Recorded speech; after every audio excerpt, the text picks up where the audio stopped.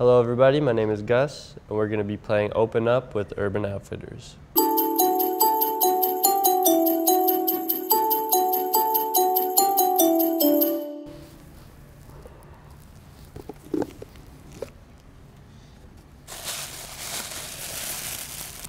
House show or club?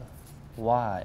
I would have to say the club because I can dance and I'm kind of obsessed with there being decent sound.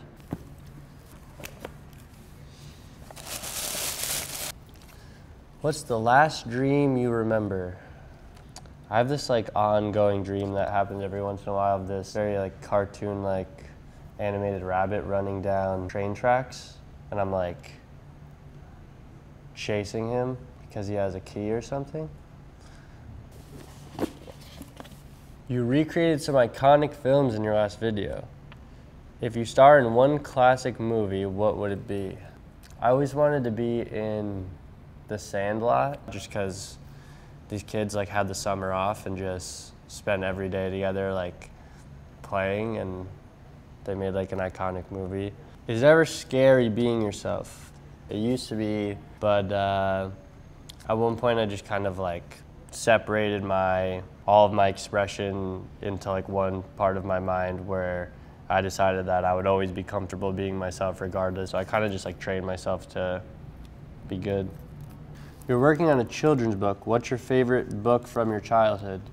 I like a lot of Dr. Seuss books, but uh, my girlfriend just showed me a book recently called Monster Mama, and it's super good. It's not necessarily like too rhymey, which is what I enjoy. The illustrations are really, really clever. A song in your catalog that you'd be willing to share the secret meaning of?